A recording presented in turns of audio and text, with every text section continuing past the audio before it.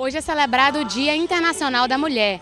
A data representa a luta pelos direitos nos campos social, político e econômico das mulheres ao longo dos anos.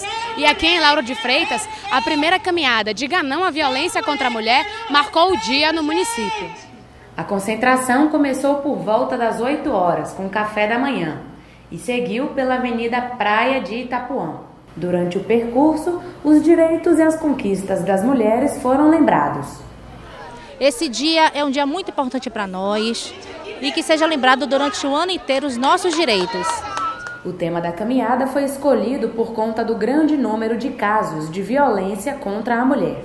É, a violência contra a mulher está em todas as classes sociais e é muito importante que a mulher que é vítima de violência doméstica leve ao conhecimento das instituições a violência que ela vem sentindo. Nós estamos preparados nas delegacias de todas as cidades do estado da Bahia para receber essa mulher e dar todo o apoio necessário. Esse movimento que estamos fazendo aqui em Vila do Atlântico vai ajudar a que mulheres que antes tinham medo de denunciar, elas saibam que não estão sozinhas que elas têm irmãs, que elas têm pessoas que podem é, até denunciar por ela, porque às vezes a mulher está tão machucada que não consegue falar. Às vezes ela é tão pobre que não, pode, não consegue ir embora. É sempre importante falar da violência contra a mulher, porque esse é um assunto cotidiano na sociedade. É, para evitar a violência, a gente precisa estar vigilante o tempo inteiro, porque a violência é fruto do machismo de uma sociedade que vive patriarcado, enfim.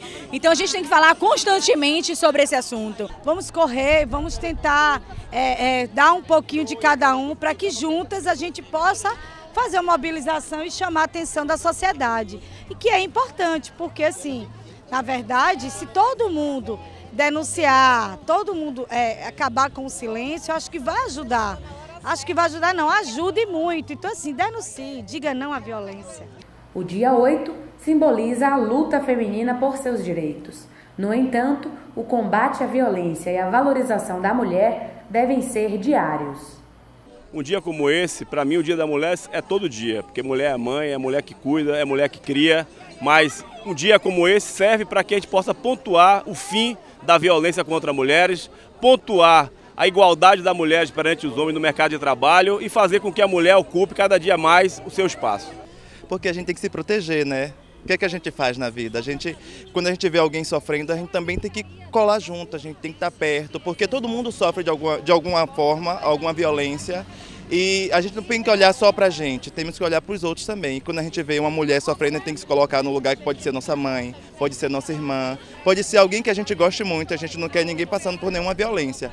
Então a gente tem que estar tá perto e colar junto com essas, essas causas.